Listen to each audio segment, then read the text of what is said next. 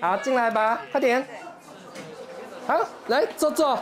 早期疗愈课程的时间一到，快六岁的哥哥彤彤和四岁的弟弟 Jamie 穿着同款的小 T 恤，迫不及待的席地而坐。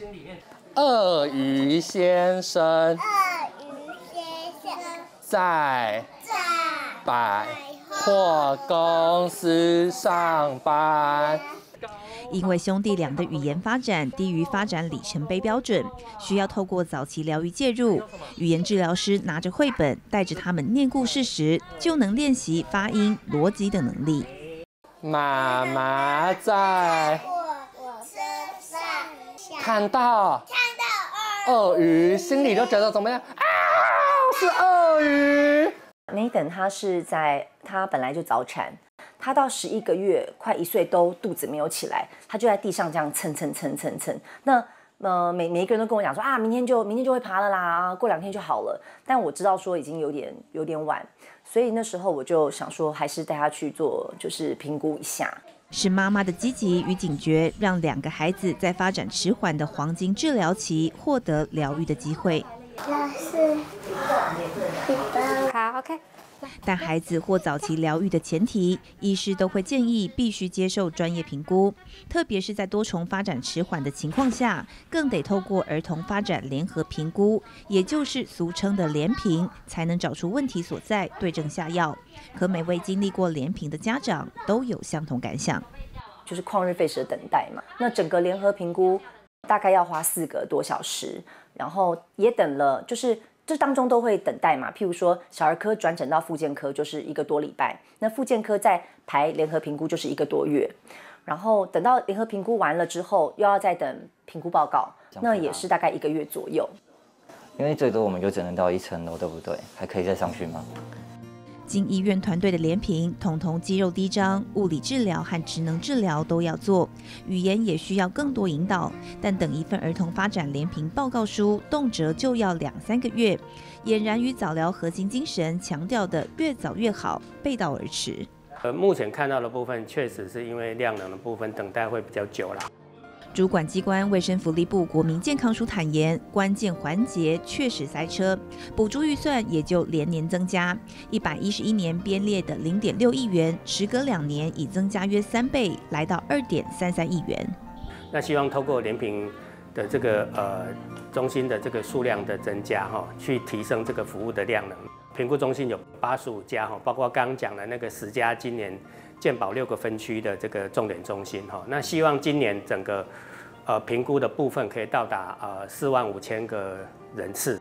砸钱扩大量能，近三年来，国建署结合地方政府补助，全台儿童发展联合评估中心，从一百一十一年五十二家，服务量约三万零八百人，到一百一十二年持续新增数量，至今已有八十五家。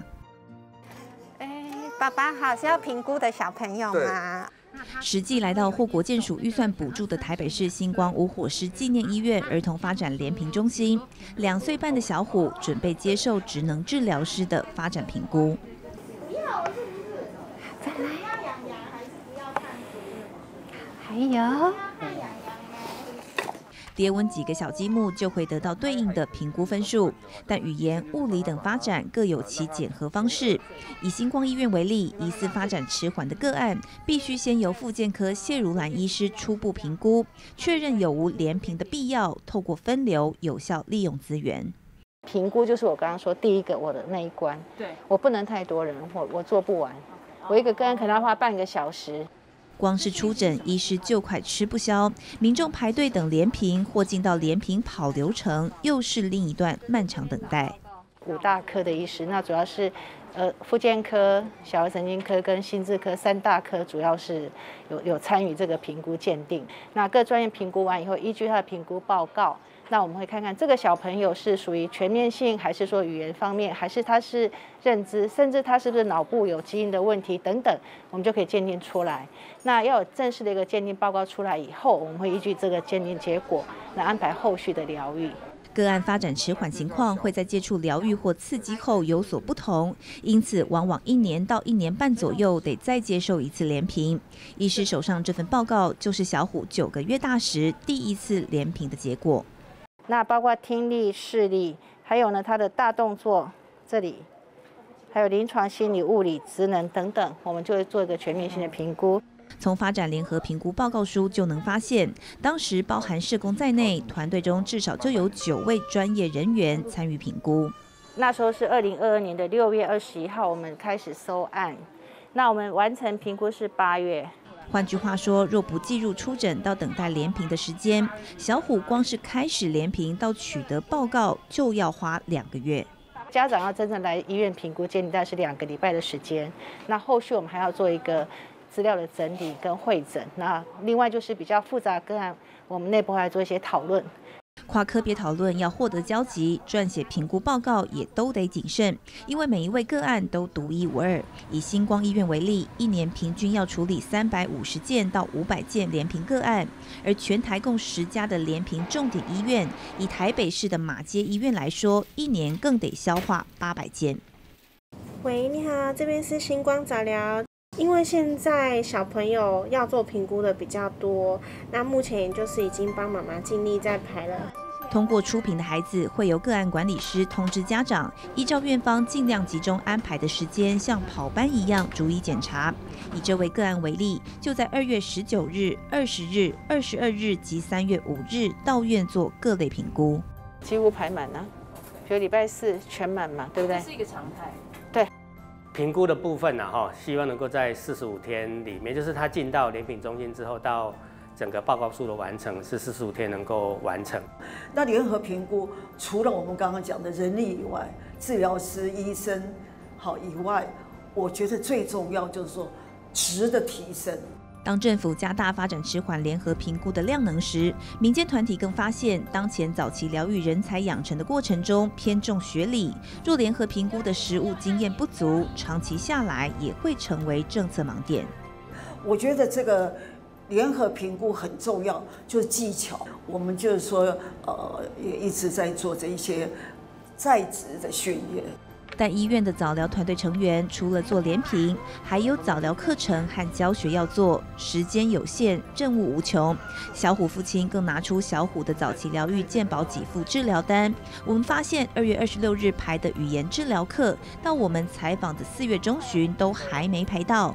只是今年疑似发展迟缓儿童通报数，比起十年前已经成长了百分之八十，逼近三万五千人。相关资源的部件刻不容缓。亲子馆里面，它其实有一个公任务，其实是协助家长对于孩子的发展期能够有一些了解，甚至是可以做儿童的发展。全国亲子馆在十一年间增加了八点四八倍，但这些早疗在地化与社区化资源却没有被民众有效利用。其中一个症结点就在于儿童发展迟缓与早期疗愈的资讯涉及多个跨部门业务，光是治疗、教育、社会福利就分属不同单位。这样子的资源资讯，其实它很难是同整在一个窗口，你就能够弄清楚。因为有可能我们在规定上都会做一些调整，或者是说每一个的这个你去申请补助都有一些细节。好，可是我觉得对家长来讲，其实呃很可以运用的，大概就是我刚刚讲的，各县市都有早疗的通报跟转接中心，那也有各管中心。当家长关注儿童发展迟缓的心力越多，资源的建设就得更完善。因为对这些孩子来说，发展迟缓只是一段过程，但关键的联合评估却是他们的起点。当他们努力迎头赶上，相关政策与协助也绝没理由能够迟来。